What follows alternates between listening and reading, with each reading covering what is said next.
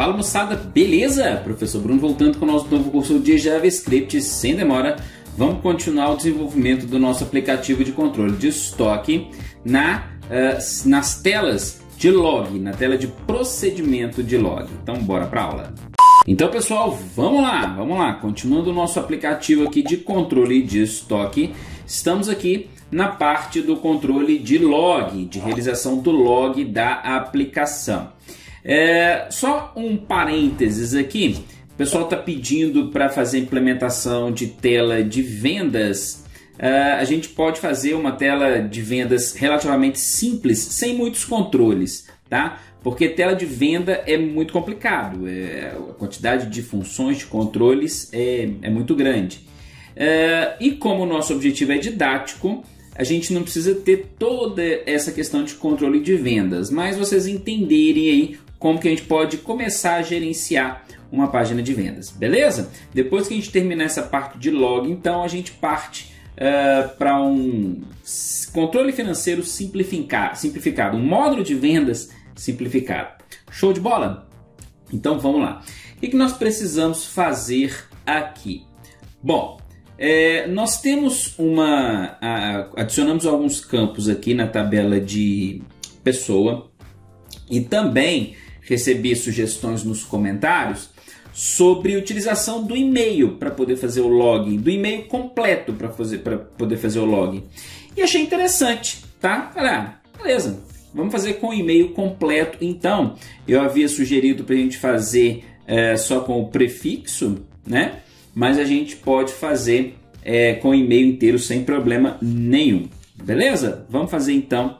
O log vai ser o e-mail e a senha. Legal? Bom, é, quanto ao primeiro acesso aqui, a gente também pode fazer o seguinte: é, nós podemos eliminar a variável primeiro acesso e fazer verificação sempre quando for primeiro acesso, a senha vai estar tá em branco, tá? É, e quando eu quiser resetar a senha do usuário também, eu simplesmente apago a senha atual que ele digitou. Ele digitou o e-mail é, ele conferiu o e-mail está sem senha, significa que é o primeiro acesso, então ele precisa redirecionar para a tela de é, cadastro de senha. Legal? Então vamos seguir com essa linha. Então se você não é inscrito, já se inscreve aí, hein? Vai se inscrevendo aí, ativa o sininho e clica no joinha, beleza? Também segue a gente nas nossas redes sociais. Show? Vamos lá então. Ah, lógico, dá uma força no nosso canal de drone, né? pesquisa aí, CFB Drone. Legal? Muito bem, muito bem, muito bem. É... Beleza, vamos trocar então aqui, ó, ao invés de F username, vamos colocar F e-mail. Beleza? O tipo de campo aqui pode ser text ou e-mail, se vocês preferirem. Vamos passar então aqui ao invés de username, nós estamos pegando o campo F e-mail e aqueles outros campos ali normais. A formatação visual depois a gente trabalha. Vamos começar a colocar as funcionalidades básicas, tá bom? Como que vai funcionar isso? Nós vamos precisar de criar aqui então um endpoint para poder fazer essa verificação aqui no nosso conjunto de APIs. Então vou colocar uma nova guia, tá? Cliquei aqui no maisinho, adicionei um novo flow, uma nova aba e vamos renomear este flow para login, beleza? Então aqui vão vir os controles de login do nosso sisteminha. Vamos seguir a mesma lógica ali, ó, log tracinho, aliás, é o estoque primeiro, né? Tá assim, ó, estoque tracinho login. Show? Show. Beleza. Bom, o que, que eu preciso fazer? Digitei é, username, digitei senha e mando para a nossa é, pro nosso, nosso endpoint aqui para a nossa API. Legal? Então, né, nesse padrão que, como a gente está falando de senha, é, não é interessante a gente passar um modelo via GET, né? É, podemos passar via POST. Se bem que, deixa eu pensar aqui, qual que é o melhor. Mas acho que aqui não vai ter problema via get não, tá? Não tem problema via get não. olha só, a gente está passando para o endpoint mesmo, então eu copiei ele uma que já estava pronta, tá? Só para não precisar colocar tudo zero, colei aqui e vamos trocar o nome dela para login, beleza? E o que, que nós precisamos passar para o login?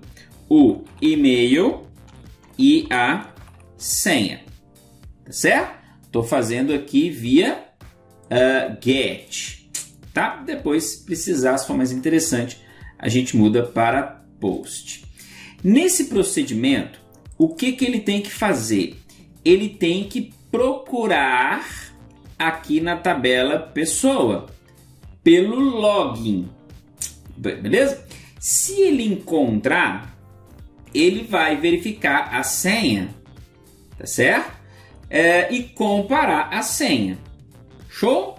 Então vamos lá, vamos começar a preparar isso aqui. Ó. Eu vou dar um select na tabela pessoa, uh, select from pessoa, mas só nos campos que eu vou precisar trabalhar, tá bom? É, Vou colocar, vou colocar interessante aqui, ó, o ID pessoa, tá? Nem sei se eu vou usar ele, mas por enquanto eu vou colocar, eu quero retornar o ID pessoa, uh, o e-mail, o e-mail e também a senha. São os campos que eu quero trabalhar aqui nesse momento. Beleza? E vou buscar isso quando o que? Quando where where uh, f e-mail pessoa for igual ao parâmetro. Vamos pegar uma que tenha parâmetro aqui, ó, para a gente poupar tempo, que ó, porque a gente copia aqui e só cola aqui. Beleza. Então nós estamos passando é, e-mail e senha. Senha. Certo? Constantes, vamos ver. Uh, cadê, cadê o script? Está aqui. Vamos ver aqui, ó. Ah, não, a gente não criou nada aqui, né? Não criou nada. Vamos pegar pelos parâmetros lá então. Aqui, ó, e-mail e senha mesmo. Beleza, parâmetros, e-mail e senha. Então, vou verificar aqui, ó, é, fazer o retorno desses campos, selecionar N pessoa, e-mail pessoa e 100 pessoa. Beleza. Na verdade, nem 100 pessoa não precisa, né? Precisa não. Só retornar aquilo ali, ó. 100 eu não quero retornar, não. Eu posso retornar se eu quiser fazer a comparação, tá? Encontrou o e-mail? Retorna não, não é interessante não. Vamos fazer a comparação toda por aqui, ó. Então, se é, e-mail pessoa for igual, aí nós vamos utilizar aqui, ó, template string para facilitar a nossa vida, né? For igual a e-mail. Aqui, ó, e-mail. Certo? Isso aqui tem D Ctrl S aqui. Isso aqui tem um retorno.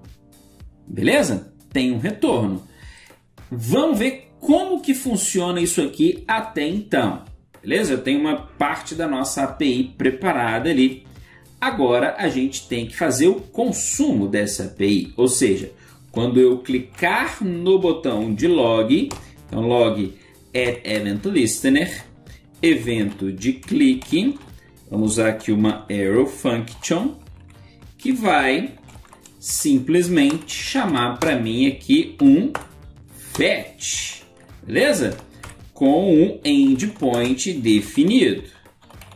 Endpoint definido aqui usando template string. E aí nós vamos recorrer aos outros aqui, ó, para gente seguir exatamente o mesmo padrão, tá? É, main tem nada, né? Vamos pegar aqui, ó, colaboradores. Colaboradores com certeza tem chamada aqui, ó, de get. Vamos pesquisar aqui, é, fetch, fetch, tá aqui, ó. certo? Exatamente, vamos copiar tudo aqui, ó, que é o padrão que a gente está usando. Tem que pegar também a definição ali do servidor ali, ó, que é importante para gente. Legal? Então vamos colar aqui e já buscar também aqui ó, o servidor que nós estamos armazenando no Session Storage. Certo? Aqui ó, Session Storage, pegar o servidor. Show! Então aqui... Ah! Aqui... Main. Pera aí, vamos ver essa questão do Session Storage aqui. A gente vê se nesse new index aqui na chamada ele já vai estar definido, né? Deixa eu ver aqui, ó. Tá. Estoque geral. Estoque geral. Ponto JS. Cadê aqui, ó, nosso estoque geral? Não tem nada no estoque geral.js. A gente tem que buscar no no main, ó porque esse main aqui ele está sendo associado deixa eu ver aqui ó ao principal ao main.html que é a página principal só que agora esse procedimento aqui ó esse procedimento que é a leitura do arquivo de texto para definição do servidor não pode ficar mais aqui né ele tem que ficar aqui no index, certo? Então aqui ó, a primeira uma das primeiras coisas a serem feitas vai ser o fetch para a definição do servidor. Show? E aí, para cá, ó, é, para essa essa página aqui, nós podemos criar o serve como uma variável certo? Pode ser até, é, pode ser aqui, ó, serve, serve, vou deixar em branco ali, ok, aqui, ó, serve em branco, joia, pode ser até assim, ó, serve nu, melhor, ok? E aqui nós vamos no session storage ali, nós vamos armazenar o nosso o retorno aqui já da nossa API. Legal? Então buscamos aqui já o nosso servidor. Muito bem, primeira, primeira coisa que foi feita aqui. E aí, no botão de log, nós vamos fazer o seguinte: pode ser que aquela tarefa ali demore um pouco, por algum, algum acaso do computador. Então a gente vai verificar se uh, serve, serve for diferente de null, significa que a, a operação já foi realizada. Então eu consigo obter aqui o servidor. Legal? Vou chamar só de endpoint aqui, ó eu consigo obter o servidor e consigo fazer esse fetch aqui. Show! Esse fetch, esse endpoint aqui, vai ser o endpoint do nosso é, aqui ó, o endpoint login, beleza?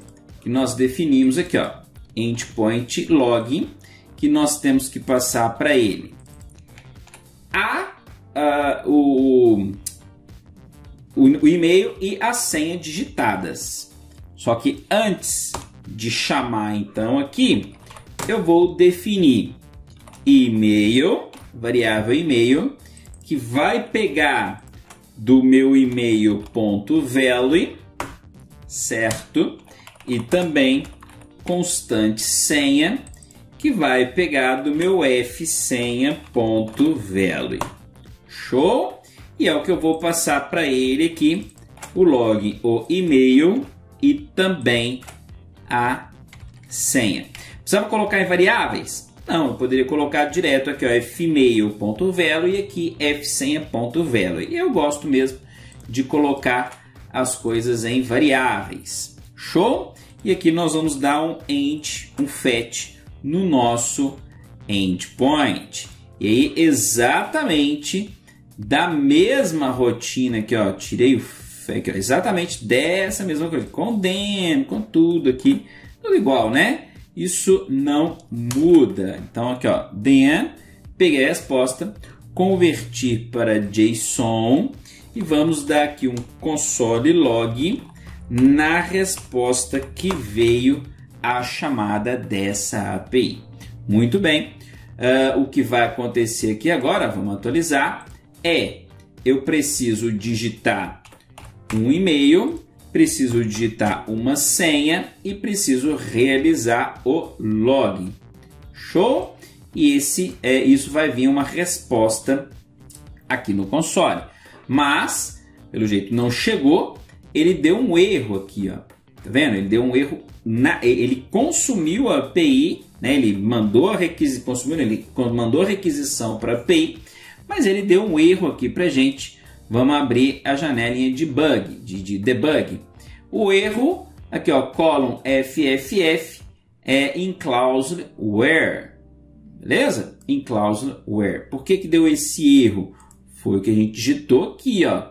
Então isso aqui eu já vi que chegou lá, porque se eu digitar aqui, ó, BBBBBB, um monte de B, realizar o login, ele tá aqui, ó, BBBBB, é erro unknown BBB in clause where. Show?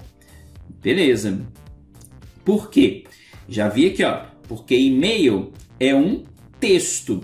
Então eu preciso colocar as aspas aqui, ó, para poder fazer essa comparação. E aqui também é um uh, não, o, o ele tá certo, né? Ele tá certo. Done deploy, vamos lá, login, deu um erro, deu erro aqui de novo? No rio, deixa eu ver, aqui ó, login, vamos ver, não deu erro, não deu erro, legal? Não deu erro, ele conectou, ele deu, ele deveria inclusive imprimir aqui, ó, no console, ah, agora imprimiu, e demora, tá vendo? Às vezes demora mesmo, mas ele imprimiu aqui, ele fez a execução das duas vezes. E aí ele já vai retornar aqui também. Só que aqui ele retornou vazio, tá vendo? Por que, que ele retornou vazio? Óbvio, porque ele não encontrou esse e-mail aqui na nossa base. Show?